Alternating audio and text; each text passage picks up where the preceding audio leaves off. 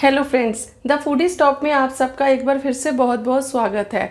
आज मैं आपके साथ शेयर करने वाली हूँ कस्टर्ड फ्रूट कस्टर्ड बनाएँगे, बहुत ही इजी तरीके से और बहुत ही स्वाद। तो शुरू करते हैं कस्टर्ड को बनाना। कस्टर्ड बनाने के लिए इस तरीके से हम एक सॉस पैन लेंगे, गैस को ऑन कर लेंगे।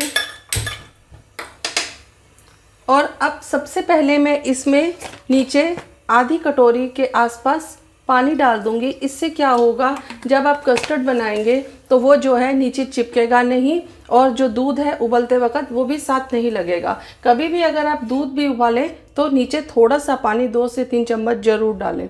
अब मैं इसमें डाल देती हूँ दूध। ये मैंने एक लीटर दूध ले लिया है। फुल क्रीम दूध लीजिए। अब हम इसको उबाला आने तक इसको ऐसे ही छोड़ देंगे। अब हम एक बार दूध को हिला लेते हैं ताकि दूध जो है नीचे लग ना जाए। वैसे तो हमने इसमें पानी डाला है तो दूध नीचे नहीं लगेगा। तो अभी दूध अच्छी तरीके से गर्म हो गया है तो अब हम क्या करेंगे? एक गिलास ले लेंगे और ये मैंने लिया है कस्टर्ड पाउडर ये कस्टर्ड पाउडर है। कस्टर्ड पाउडर बाज़ार में बहुत आसानी से किराने की दुकानों पर मिल जाता है। इस गिलास में मैं दो चम्मच कस्टर्ड पाउडर भरकर डाल दूँगी। दो चम्मच डाल दिए, आधा चम्मच और डाल देते हैं, ढाई चम्मच हो गया। अब आप इसको चाहे ठंडे दूध से घोल लीजिए, चाहे पानी से घोल लीजिए। तो मैं इसको पानी से घोल रही हूँ इसमें पानी डालेंगे और अच्छी तरीके से मिलाएँगे ताकि इसमें लम्स ना पड़ जाए। इस तरीके से हम पकड़ेंगे और इसको बहुत अच्छी तरीके से मिलाएँगे। ये जब इसको थोड़ी देर भी अगर आप नीचे छोड़ देंगे ऐसे ही तो ये नीचे एकदम जाकर जम जाता है। आप इसको हिलाएँगे, ये दोबारा से इजीली बहुत आसानी से घुल जाएगा। तो डालने से पहले हम इसको एक बार घोल लेंगे। दूध अच्छा गर्म हो गया है, उबाला आने से पहले ही हम इसमें कस्टर्ड पाउडर जो है डाल देंगे। ये देखिए, दूध गर्म हो गया है। इसको एक बार फिर से हिला लेंगे, जैसे कि मैंने आपको बताया था। और अब क्या करेंगे, इसको लगातार हिलाते हुए हम इसको इसमें डाल देंगे।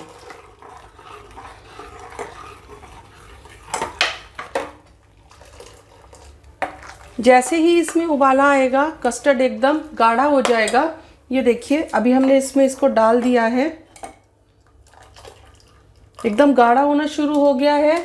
अब ज़्यादा गाढ़ा हो जाए तो उससे पहले हम क्या करेंगे, इसमें चीनी ऐड कर देंगे। इसमें मैं चार से पाँच चम्मच चीनी डाल दी है। इसको लगातार आप हिलाते रहिएगा, छोड़िएगा मत, नहीं तो ये नीचे लग जाएगा। ये देखिए, ये गाढ़ा होना शुरू हो गया है। अब इसमें जैसे जैसे उबाला आ रहा है, ये जो कस्टर्ड है, एकदम गाढ़ा होता जा रहा है। ये देखिए, इसको अब हम सिर्फ़ एक से दो मिनट के लिए और पका लेंगे ताकि ये इसमें कच्चापन ना रह जाए। अब कस्टर्ड एकदम पककर तैयार हो गया है। गाढ़ा भी इसका जितना हमें थिकनेस चाहिए, वो भी पूरी है। तो ये देखिए, मैं आपको एक बार दिखाती हूँ। ये देखिए। इसी तरीके से आपको ये कस्टर्ड तैयार चाहिए। अब हम क्या करेंगे? इस कस्टर्ड को इसी तरीके से गैस बंद कर देंगे और आधे से पौना घंटा हम इसको बिल्कुल ठंडा होने देंगे रूम टेम्परेचर में आने देंगे।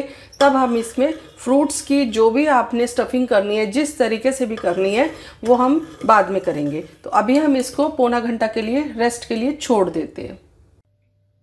तो कस्टर्ड जो है, आधा पौना घंटा हो गया, बिल्कुल ठंडा हो गया है। अब हम इसको क्या करेंगे? एक बार इस तरह विक्स के साथ इसको अच्छी तरीके से फेंट लेंगे। वो इसलिए कि इसमें कोई गुठली जो रह भी गई है लम्स, वो खत्म हो जाए। ये एकदम क्रीमी टोन में आ जाएगा।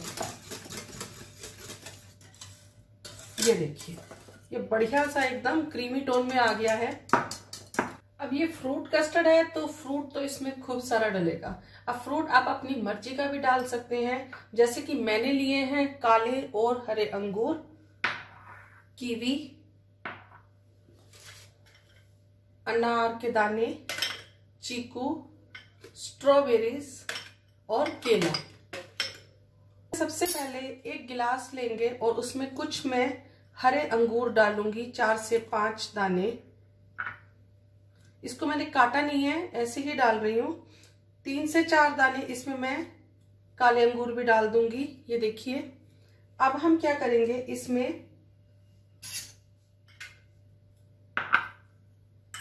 एक चम्मच बारीक बिल्कुल कटा हुआ केला,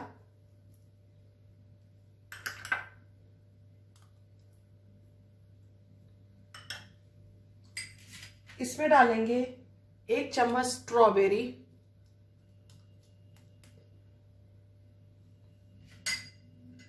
चीकू, मैं इस तरह से लंबे लंबे हमने इसमें फाके करी हैं। इसको मैंने बारीक नहीं काटा तो ये देखिए, इस तरीके से रखेंगे।